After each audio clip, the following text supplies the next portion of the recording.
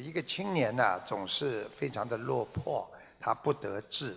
那有人呢就向他推荐一位智者啊，智者实际上就是大德了，一般是大德了。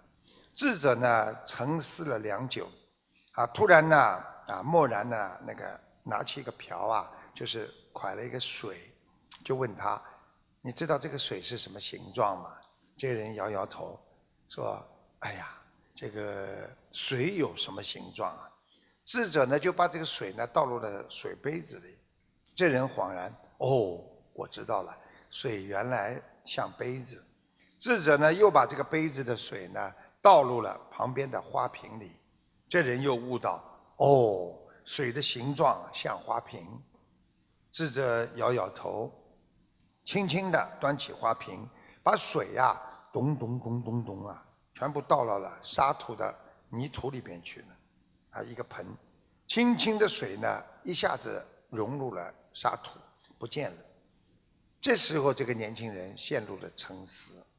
智者呢弯腰呢啊去拿起一把刚刚被水倒过的沙土说：“看，水就这么消失了，这就是人的一生啊。”青年人说：“哦，这个老师我知道了，您是通过水告诉我，社会处处像一个规则的容器。”把你放在哪里，你就要像他一样啊，再好好的在做这些事情。是不是人应该像水一样，沉进什么容器就要变成什么形状？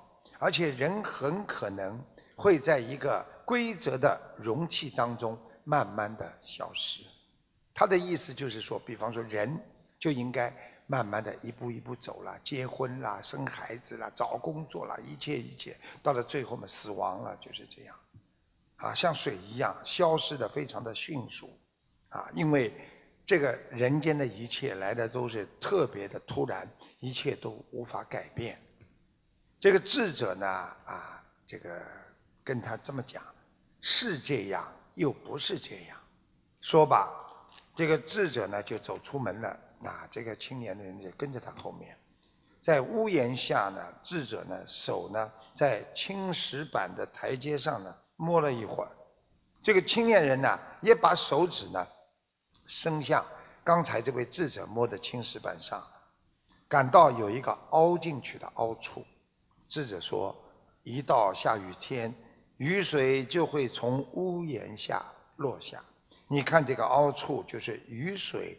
落下的结果，这时候这个青年人才大悟，说：“哎呀，我明白了，其实人可以被装入啊规则的容器，但又应该像这小小的水滴，改变这坚硬的青石板，直到改变容器。”这个智者说：“对，滴滴水穿石的去改变我们的人生啊。”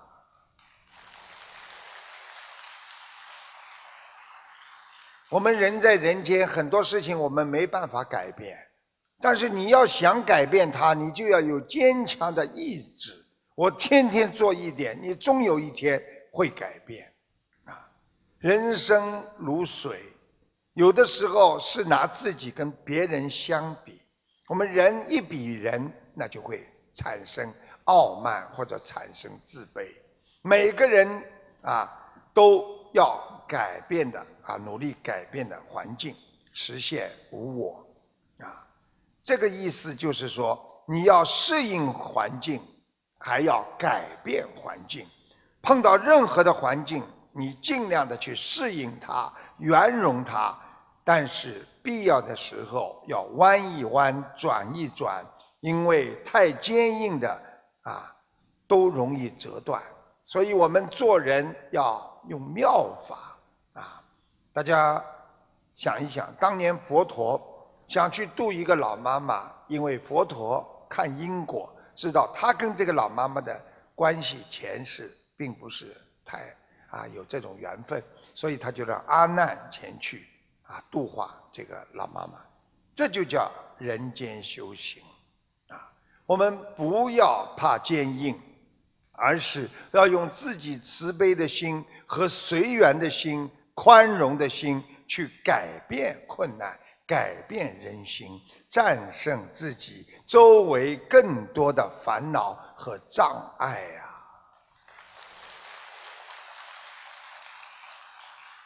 所以我们学佛人要随缘，不管在人间有多大的烦恼，要用妙法去改变它。想一想，人都会改变的，没有一个人可以从小到大没有改变。所以他的形象在改变，他的内心也在改变。而我们去改变这个社会，要随缘不变，不变随缘呐。